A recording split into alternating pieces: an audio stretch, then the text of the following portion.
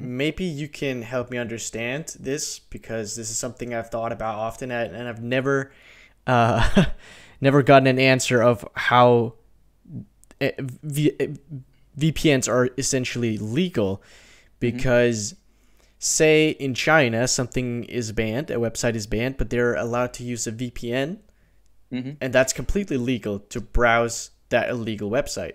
It's a similar. My understanding of the legal situation is pretty grey, but I I think of it as a similar way to piracy. Right?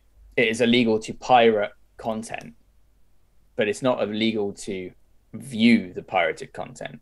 Okay. Yeah, I you know, see. like if if you've got a, a, ROM of an old Game Boy Advance game, yeah, and if you own the physical Game Boy Advance game, you can make a copy of that Game Boy Advance mm-hmm. game and emulate it on your PC and play it. Now, if you uploaded that to a website and hosted it for other people to share, that's illegal, and that's the same kind of thing with piracy, right? Pirate Bay is illegal, but they're hosting it, and that's why it's illegal.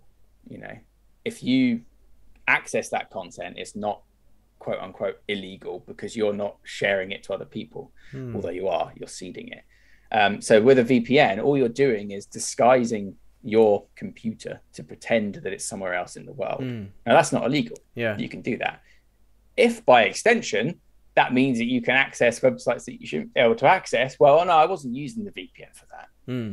I was using the VPN to protect my data. Yeah, you know. Now, obviously, in China, that's going to have different consequences than it is in other parts of the world. Yeah. You know, if I use a VPN, Virgin Media will go, "Oh, you probably shouldn't be using a VPN," and I can go, "Fuck off! you take fifty quid of my money every month, and your internet doesn't even bloody work." Yeah. You know, I say that in China, and there's going to be different consequences. yeah. Um. So yeah, like the the legal- legality of a VPN is like, why would it be illegal to make it seem like my computer isn't at my home? Mm it's a different home. Yeah. Well, it's my data. I can do whatever the bloody hell I want with it. You know? That's essentially my understanding of it. I see. Yeah. Could be wrong. no, it does make sense. It's a, it's a little loophole, essentially. Yeah. yeah. Yeah, exactly. Like it's frowned upon, but there's nothing they can do about it because the government doesn't even understand what they're looking at, let alone understand it enough to make a rule about it. Mm.